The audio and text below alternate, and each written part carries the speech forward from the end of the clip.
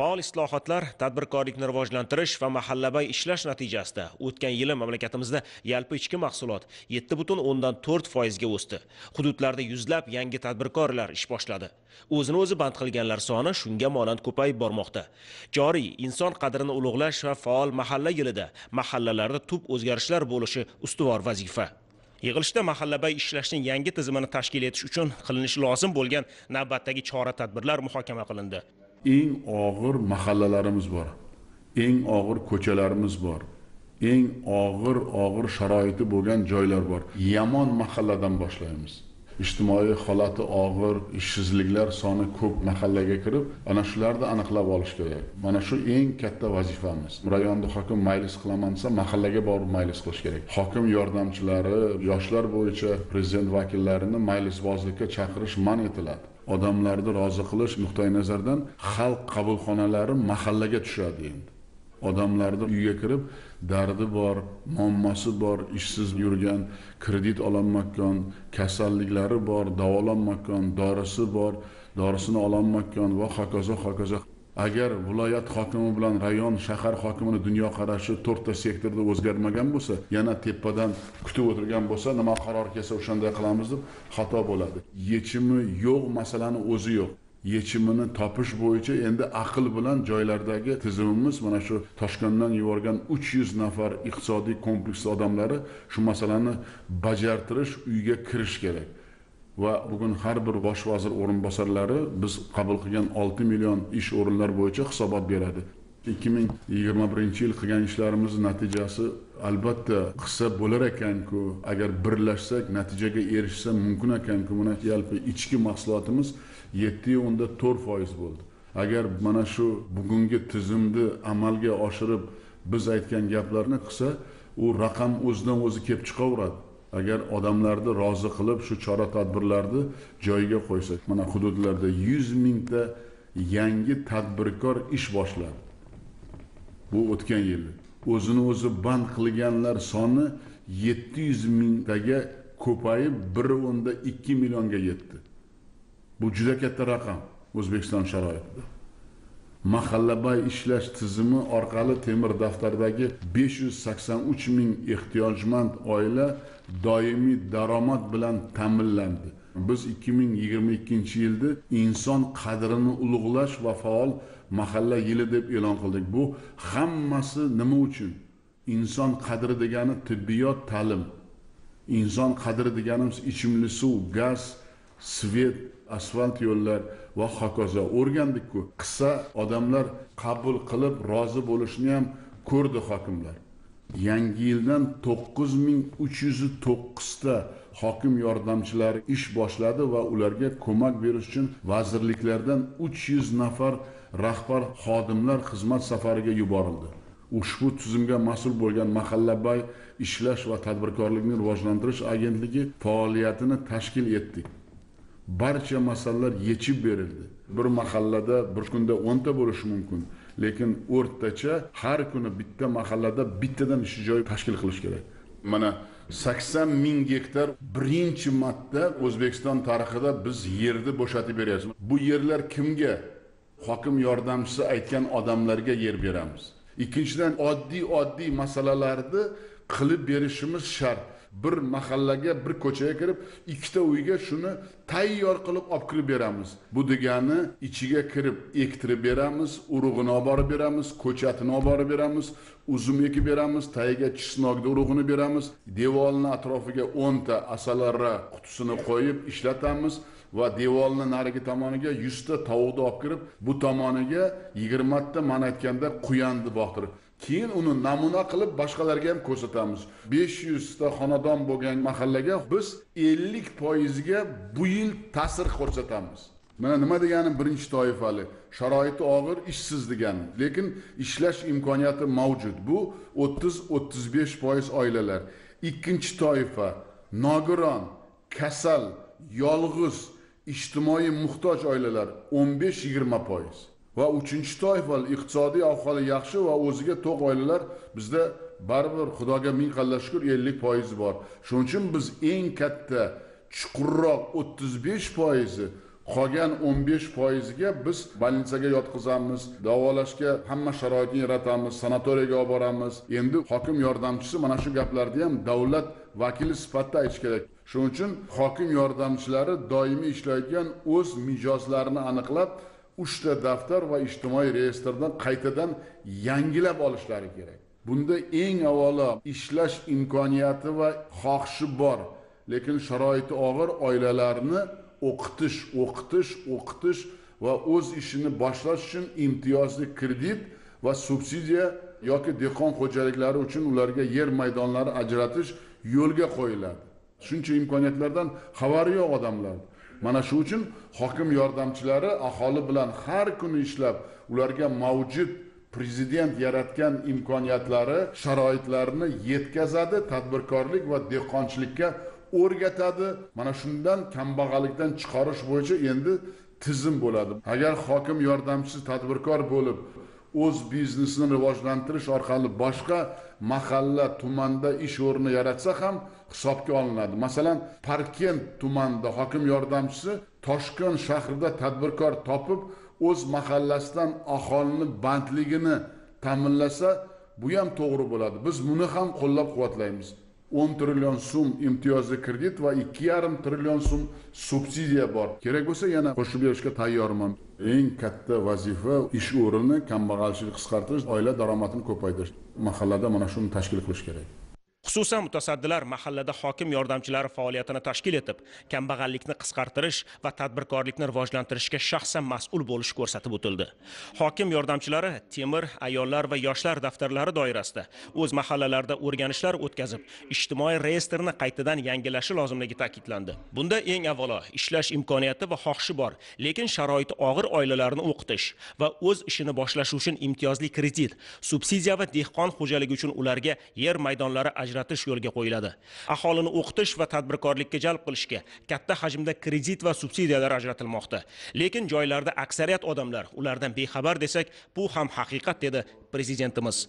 Shuning uchun hokim yordamchilari aholi bilan har kuni ishlab ularga mavjud sharoitlarni yetkazishi tadbirkorlik va dehqonchilikka o'rgatish orqali kambag'allikdan chiqarishi lozim. Bu borada mahallada tadbirkorlik va dehqonchilikni rivojlantirish uchun oilalarni zarur asbob uskunalar va ish qurollari bilan ta'minlashga alohida e'tibor qaratish zarurligi qayd etildi. Aytib o'tilganidek joriy yil dehqonchilik uchun ajratilayotgan 80 ming gektar ekin maydoni ham birinchi navbatda yuqorida qayd etilgan toifadagi oilalarga beriladi. Shu orqali 500 ming aholini doimiy daromad manbai bilan ta'minlash mumkin. Mutasaddilar oldiga ekin yerlarini ajratish ishlarini tanqidiy muhokama qilib borish aholini parrandachilik qo'y echkichilik quyonchilik baliqchilik asalarichilik bilan band qilish uchun yetakchi tadbirkorlarni jalb etish mavjud imkoniyatlarni o'rganib tadbirkorlar ishtirokida mahallalarni inkubator bilan ta'minlash yetishtirilgan qishloq xo'jaligi mahsulotlarini kafolatli sotib olish tizimini tashkil etish vazifasi qo'yildi. Bir narsani hamma aniq tushunib olishi zarur. Hokim yordamchilari prezidentning mahalladagi vakillari hisoblanadi. Ularning asosiy vazifasi o'z mahallasida tadbirkorlikni rivojlantirish ish o'rni yaratish kambag'allikni qisqartirish va oilalar daromadini ko'paytirishdan iborat dedi davlatimiz rahbari. Buning uchun hokim yordamchilari har qanday byurokratiyadan xoli bo'lishi ularni turli hisobotlar bilan ko'mib tashlamasdan zarur sharoitlar yaratib berish bo'yicha aniq vazifalar belgilandi. Yig'ilishda aholi murojaatlari orqali joylardagi vaziyat o'rganilib mahallalar qiyofasi va ijtimoiy muhitni yaxshilashga alohida e'tibor qaratish lozimligi ko'rsatib o'tildi. Bu ishlar avvalo iqtisodiy va ijtimoiy ahvoli nisbatan og'ir bo'lgan mahallalardan boshlanadi. Shu munosabat bilan ushbu mahallalarda infratuzilmani yaxshilash ichimlik suvi tarmoqlarini bog'cha maktab tibbiyot muassasalari madaniyat markazlarini ta'mirlash va qurish. Bir so'z bilan aytganda odamlarni rozi qilishga ustuvor ahamiyat berish lozimligi qayd etildi. Yig'ilishda tarmoq va hududlar rahbarlari yangicha tizimda ishlash yuzasidan rejalarini bayon qildilar. Hurmatli prezidentimiz tomonidan bugun video selektor yig'ilishi o'tkazib ya'ni hozirgi kunda ya'ni yangi o'zbekistonda yangi tizim. Bu hokim yordamchilari tizimini joylarda qanday joriy qilindi va ular qanday ishlar olib borayotganligi to'g'risida batafsil har bitta tizim ya'ni tarmoqlardan har bittasidan so'radilar va to'qqiz ming uch yuz to'qqizta mahallani har bittasida qo'yilgan hokim yordamchilari nima ishlarni amalga oshirish kerak va yakunida fuqarolarni roziligini olish ularni ish bilan ta'minlash ularni ertangi kunda daromadini oshirish bo'yicha aniq vazifalarni belgilab berdilar. Hokim yordamchilari yordamchilarni har bitta mahallaga ya'ni iqtisodchilarni har bitta mahallaga kirib borishi va har bitta o'sha kam ta'minlangan fuqarolarni daromadini orttirishi bu ertangi kunda har bitta fuqaroni roziligi bilan bog'liq deb aytsa bo'ladi.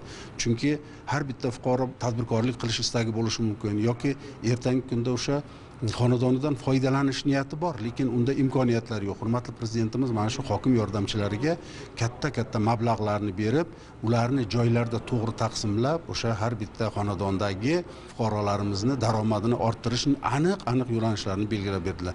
Alohida ta'kidlab o'tildiki joylarda hokim yordamchilari mahalladagi iqtisodiy e, potensialni tiklaydigan bo'lsa mahalla raislari joylardagi o'sha ma'naviy muhitni E, oilalardagi muhitni va ma'naviyatni shakllantirish bo'yicha alohida ishlaydi va ularning hamkorligi shunda ko'riladiki mahalladagi bo'ladigan har bir fuqaroning o'sha ham ma'naviyatining shakllanishi ham ularning ham daromad topishi bo'yicha birgalikda ya'ni hamkorlikda. Undan tashqari hurmatli prezidentimiz yana bir alohida ta'kidlab o'tdilarki e, joylarda yoshlar ishlar agentligining vakillari ham har bitta mahallada bo'ladi. Demak bu E, agar e, yoshlar ishlar agentligining vakili har bitta mahalladagi o'sha ishsiz yoshlarimiz bilan yoki ularning ma'naviyati bilan shug'ullanadigan bo'lsa hokim yordamchilari iqtisod bilan shug'ullanadigan bo'lsa mahalla tizimidagi ya'ni xotin qizlar bilan ishlaydigan xotin qizlar e, bu yo'nalish bo'yicha ishlaydigan mahalla raisining o'rinbosarlari xotin qizlarning muammolari bilan ishlaydigan bo'lsa demak biz hozirgi tanlagan yo'limiz juda to'g'ri va ertangi kunda har bitta fuqaroni roziligi bilan bog'liq. Muhtaram prezidentimiz mahalliy hokimliklar vazirliklar umuman agentlik tomonidan amalga oshirish lozim bo'lgan ishlarni birma bir tushuntirib berdilar. Hokim yordamchilar faoliyatini to'g'ri tashkil qilish ularni ishlarini muvofiqlashtirib borish masalasi bu mahallabay ishlash va tadbirkorlikni rivojlantirish agentligiga yuklatilgan. Agentlik tomonidan e, shu doimiy ravishda respublika vakillari hamda hokim yordamchilari bilan birgalikda hamkorlikda ishlash vazifasi yuklatilgan. Hozirgi kungacha to'qqiz ming uch yuz to'qqizta hokim yordamchilari hududlarda mahallalarga tayinlangan. Bularga uch yuzga yaqin respublika vakillari har bir tumanga biriktirilgan iqtisodiy kompleksdan vakillar ular joylarga chiqib hokim yordamchilari bilan birga ishlarni boshlashgan. O'rtacha yigirma yigirma besh foiz hisobida qatlov ishlari amalga oshirildi. Ular hozir ish rejaga muvofiq hokim yordamchilari o'sha har bir mahallaga borib mahallani umumiy holati bilan tanishib mahallani imkoniyatlari u yerdagi faol aholi tadbirkorlar bilan maslahatlashgan holda mahallani asosiy ixtisoslashuvini drayverini belgilab oldi. Aksariyat hokim yordamchilarimiz. Endi bu xonadonbay ishlab o'sha xonadonma xonadon yurib xonadondagi ehtiyoj uni daromadini ko'paytirish bo'yicha yoki deylik o'sha xonadonda Э, ishlovchilar ishsizlar yoki deylik bir daromad topishga istagi borlar tadbirkorlik bilan shug'ullanishga istagi borlar yoki qaysidir bir kasb bo'yicha o'qishga istagi borlar birma bir so'rovnoma orqali aniqlab chiqilyapti.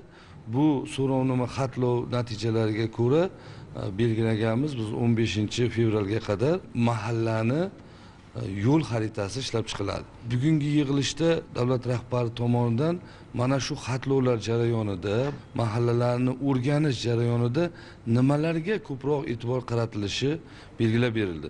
Misol uchun davlatimiz rahbari tomonidan ta'kidlab o'tildiki mana shu xonadonga kirganda xonadonni birgina masalan tomorqadan foydalanish emas tomorqadan o'sha issiqxona qilib yoki deylik o'sha ochiq yer maydoniga ekishdan tashqari parranda bo'lishi devor yonlarida shu asalari uyalarini qo'yilishi yoki chorva e, quyonchilik tashkil qilish mumkinligi bitta xonadonda ko'p yo'nalishda e, daromad olib kelish mumkin bo'lgan e, sohalar bilan shug'ullanish mumkinligini alohida qayd etishdi. Shuningdek o'sha mahallani azal azaldan shug'ullanib kelgan o'sha yillar davomida shakllangan tajribasidan ko'proq foydalanish. O'sha ko'proq nimaga ixtisoslashgan bo'lsa mana shu yo'nalishni ko'proq o'sha mahallada rivojlantirishga ham alohida e'tibor qaratilishi kerakligi belgilab berildi. Mamlakatimiz bo'yicha to'qqiz mingdan ortiq e, mahallada hokim yordamchilari faoliyatini boshladi va bularni faoliyatidagi eng asosiy mezon qilib hurmatli prezidentimiz e, uchta masalani berdilar. Bu birinchisi e, ishsizlarni ish bilan ta'minlash masalasi. Ikkinchidan kambag'alligini qisqartirish va uchinchidan aholining daromadini oshirish. Mana shu uchta masala qaratilgan holda har bir mahalla bo'yicha xonadonbay o'rganish xonadonlarni holati ularni bugungi ehtiyojini aniqlab davlat tomonidan beriladigan yordam va ko'mak manzilli tashkil etiladi. Qishloq xo'jaligini rivojlantirish sohasi bugungi kunda aholi bandligini ta'minlashning bir muhim yo'nalishi sifatida hamda daromadlarni ko'paytirishning omili sifatida bir alohida topshiriqlar berdilar. Birinchidan bugungi kunda e, aholi tomorqalari 500 ming gektardan ziyod unumli yerlar aholini ixtiyorida va 5,5 milliondan ortiq xonadon egalari mana shu yer hisobiga ham o'z ehtiyojini qondiryapti ham ichki bozorni oziq ovqat mahsulotlari bilan ta'minlashga hissa qo'shyapti va shu bilan birga undan ortgan qismi eksportga ham chiqarilyapti. Va bu tabiiyki qo'shimcha daromad manbai. Endi mana shu o'rganish jarayonida hokim yordamchilari va u bilan birga ishlaydigan tizimlar shu jumladan fermer dehqon xo'jaliklari va tomorqa yer egalari kengashini joylardagi vakillari ham har bir xonadon bo'yicha ehtiyojni o'rgangan holda birinchidan ularning tomorqa ikki uch marta hosil olish uchun aniq yo'l xaritalari asosida manzilli yordam beriladi. Ikkinchidan har bir xonadon ehtiyojidan kelib chiqib imkoniyatlarini baholagan holda yuz boshdan parranda tovuq birinchi navbatda u go'sht yo'nalishida bo'lishi mumkin tuxum yo'nalishida bo'lishi mumkin. Shuni boqish uchun shart sharoit yaratib berishga ko'maklashiladi. Kurka yigirma bosh o'rdak g'oz parranda deganda bedana boqish imkoniyati bor. Odamlarimizni qo'y echki boqishga sharoiti bor. Quyon asalari boqish baliq boqish ixcham issiqxonalar qurib berishga ko'maklashish. Mana shu orqali har bitta xonadon egasini qo'shimcha daromad topishiga imkon beriladi. Va bu orqali uni farovonligiga xizmat qiladigan bir tizim. Buning uchun hurmatli prezidentimiz tomonidan hamma imkoniyatlar yaratib berilgan. Shu jumladan ikki ming yigirma birinchi yil o'n oltinchi dekabrda ellik to'rtinchi sonli qarorlari bilan o'zbekiston fermer dehqon xo'jaliklari va tomorqa egalari kengashi huzuridagi jamg'armaga yuz million dollar miqdorida imtiyozli mablag'lar ajratib berildi. Va shu imtiyozli mablag'lar oilaviy tadbirkorlikni rivojlantirish dasturlari shartlari doirasida tijorat banklari orqali imtiyozli kredit qilib berilyapti. Mana shu maqsadda bir qator imtiyozlar ham berildi. Bu imtiyozlar hisobiga e, har bir e, oila tadbirkor davlat dasturi doirasida tavsiyalarni endilikda e, tuman hokimining mahalladagi yordamchisi beradi. Bu yil 80 ming gektar bu respublika bo'yicha e, dehqon xo'jaliklariga yerlar ajratib beriladi. Va birinchi marta bu ochiq elektron tanlov asosida amalga oshirilyapti. Mana shu borada ham har bitta viloyat tuman darajasida aniq rejalar va qilinayotgan ishlar va ajratiladigan yer maydonlari belgilangan. Bunga mas'ul bo'lgan ijrochilar va shu borada bizni mana shu jarayonda amalga oshiradigan tegishli bosh vazir o'rinbosarlari tegishli hukumat idoralari bilan birgalikda mana shu jarayonda bizni kengashimiz ham joylarda ishlarni tashkil etishda bevosita ham uslubiy yordam sifatida ishtirok etyapti va bu jarayonga mana shu hozir xalqimizni ko'proq xabardor qilish. Ya'ni agar e, nafaqat bu temir daftar ayollar daftari yoshlar daftariga kirgan fuqarolarimiz ishtirok etadi balkim o'zini tomorqasidan yaxshi foydalanayotgan yilida ikki uch marta hosil olayotgan va qo'shimcha yer maydonlariga ehtiyoji bo'lgan fuqarolar ham mana shu jarayonga ishtirok etadi. Bugungi kun holatiga elektron tanlovlarga chiqarish boshlandi. O'ylaymizki mana shuni hisobidan bu aniq belgilangan 500 mingga yaqin fuqarolarimiz doimiy ish o'rinlariga ega bo'ladi. Bahor yaqinligini inobatga olib shu jarayonni imkon qadar tezlashtirib tashkiliy masalalarni joyida tezroq hal qilish masalalari bo'yicha ham aniq ko'rsatmalarni berdilar. Joriy yildan boshlab hurmatli prezidentimizning tashabbuslari bilan viloyatimizda yetti yuz saksonta mahallaga mana shu viloyat shahar tuman miqyosidagi rahbar xodimlardan iborat iqtisodiy idoralar e, xodimlari hamda tadbirkorlardan hokim yordamchilari tanlab olinib ular tayinlandi. Ularga bugungi kunda barcha tashkiliy ishlar yakunlanib o'qitish ishlari moddiy texnika ta'minoti hamda mana shu mahallalar to'g'risida ma'lumotlar yuzasidan o'quvlar o'tkazilib ular faoliyatini birinchi yanvardan boshlashdi. Va bugungi kungacha viloyatimizda besh yuz yetmish besh mingdan ortiq xonadondan bir yuz yigirma ikki mingtasi xatlovdan o'tkazildi.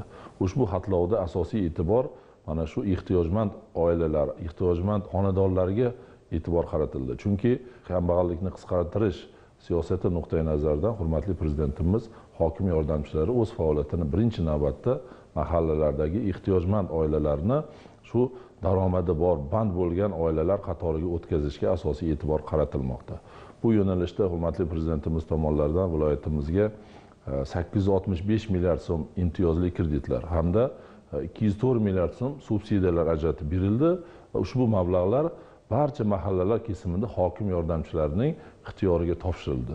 Ularning tavsiyasiga asosan mana shu xonadonlarga imtiyozli kredit ajratish va subsidiya ajratish masalalari hal etiladi. Namangan viloyati tajribasi sifatida bugun hurmatli prezidentimiz tomonlaridan yana bir e, muhim tashabbus olg'a surildi.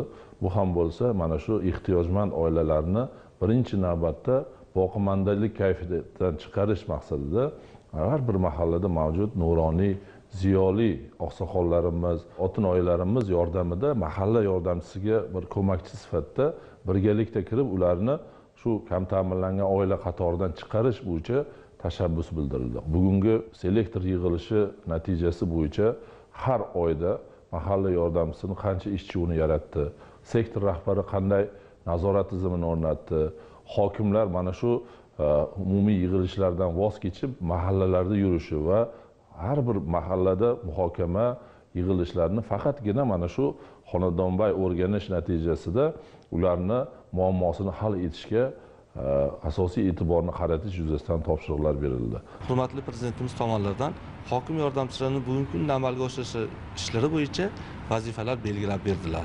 O'tkazilgan videoselektordan man o'zimga juda katta vazifalar va kelgusida amalga oshirgan ishlarim bo'yicha rejalar tuzib oldim.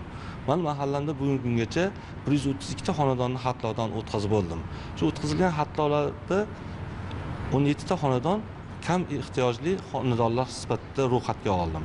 Man shu mahallamga belgilangan resurslardan foydalanib ushbu oilalarga subsidiya va imtiyozli kreditlar asosida parranda boqish quyon boqish qoramol chorvachilik va boshqa tadbirkorlik yo'nalishlarini olib kirmoqchiman. Aholini o'rganishda driver nuqtasini aniqlab oldim. Bizni mahallamizni asosiy driver nuqtasi bu bozorchilik va tikuvchilik ekan. Mana shu bozorchilik yo'nalishida har bir xonadonda tomorqa bo'lib tomorqalarda mevalar yetishtiriladi. Mana shu ushbu mevalarni qayta ishlab quritib sotganda o'n o'n besh barobar daromad ko'rishini bilib man har bir xonadonda kichik kichik yangi sanoat namunasi yaratilgan quritish uskunani olib kirib aholini bandligini ta'minlamoqchiman. Ishsiz fuqarolarimizga yer berishda hokim yordamchilarining tavsiyasi asosida berilish bundan tashqari bank kreditlari ajratilishda hokim yordamchilarining tavsiyasi asosida berilish e, subsidiyalar ajratishda ham hokim yordamchilarining tavsiyasi asosida berilish vakolatlari yana kengaytirib berildi. Bundan kelib chiqib biz hokim yordamchilar hozirgi kunda xonadonma xonadon har bitta fuqaro bilan suhbat o'tkazib ularni e, kamchiligi yoki daromadi kam bo'lgan oilalarni o'zimizga belgilab olib ularni nima qilsak daromad daromadi ko'payishi bo'yicha ishlarni amalga oshiryapmiz. Xonadonda yurganimizda bitta narsani guvohi bo'lyapmizki daromadi kam oilani o'zi nima qilish rejasi bor. Faqat biz hokim yordamchilar ularga ozgina moliyaviy yoki e, bilim yuzasidan turtki bersak u xonadon o'zi daromad manbai ko'payib boshlashga erishadi. Shundan kelib chiqib hududimda ikki ming yigirma ikkinchi yilda uch yuz o'ttiz to'rtta yangi ish o'rinlari yaratilishi. Bunda ish o'rinlarimiz asosan ikki yuztasi doimiy ish o'rinlari elliktasi jamoatchilik asosida ish o'rinlari qolgan ish o'rinlarimiz esa mavsumiy ish o'rinlari meni mahallamda asosan drayveri lalimi dehqonchilik chorvachilik parrandachilikdan iborat edi. Biz uni kengaytiryapmiz hozirgi kunda ko'plab misollar keltirsak bo'ladi. Misol issiqxonalarimiz ko'payishni boshladi. Oldin borganimizda bitta bo'lgan bo'lsa hozir o'n ikkitaga ko'paydi. Endi yana qo'shni mahallamiz nonsangil mahallasiga fuqarolarimizni olib borib tadbirkorlarimizni uyda o'rgatyapmizda baliqchilikni rivojlantirishni qo'yyapmiz. Bundan tashqari e, asalarichilikni rivojlantirishni o'zimiz oldimizga maqsad qilib oldik hamda ayollarimizni oilaviy tadbirkorlik. Bunda qanday? Har bitta oilaga bitta tikuv mashinkasi emas bitta joyga uyushgan holda beshta o'ntalik e, kichik kichik e, tikuvchilik uyushmalari tashkil qilib ketyapmiz. Bu yo'limizda albatta biz xonadonboy o'rganib aholimiz bilan birgalikda hamma ishlarni amalga oshiramiz deb va'da beramiz.